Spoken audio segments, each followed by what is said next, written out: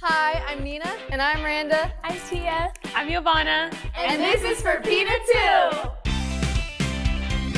2. We got our hair and makeup done today by professional makeup artists and hairstylists, and they use all cruelty-free products. It was a cruelty-free campaign to remind everyone to look for the bunny ears when they're buying their products.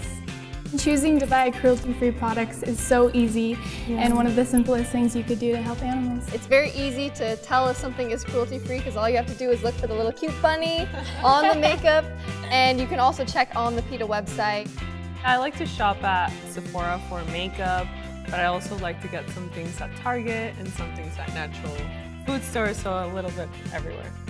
I love using coconut oil for a makeup remover and that's easy to find cruelty-free. Yeah. Instead of buying a dry shampoo, I'll just use cocoa, cocoa powder because I have brown oh, hair oh, yeah. and then my hair smells like chocolate and it soaks up the grease. Also when I'm filming videos and sometimes my face feels like a little greasy, I just put some maca powder oh, and then oh, it's like, yeah, and it takes it away.